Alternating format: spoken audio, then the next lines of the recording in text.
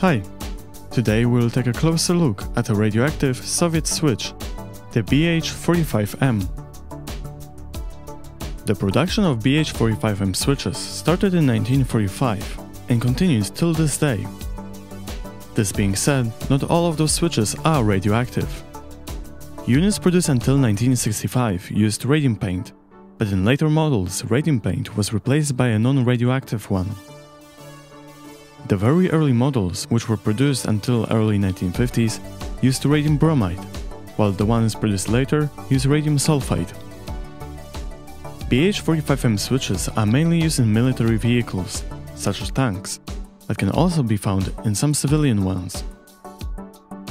These switches were produced in countries of Warsaw Pact and can be found today cheaply at antique markets.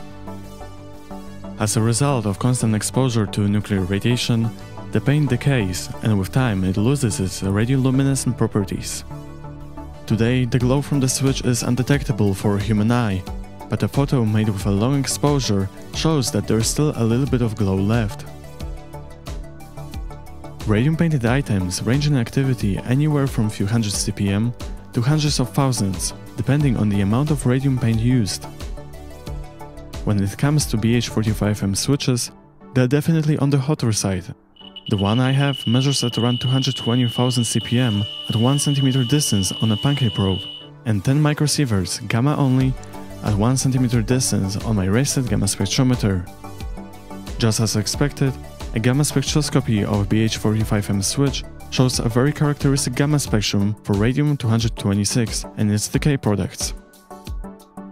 Radium is a particularly nasty element, not only because of its very high activity and radiotoxicity, but also because it decays into a radioactive gas called radon, which in large doses can be dangerous.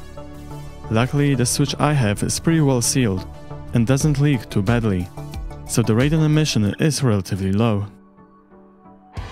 Thank you so much for watching, I hope you enjoyed this video. If yes, please consider giving it a like and subscribing to my channel.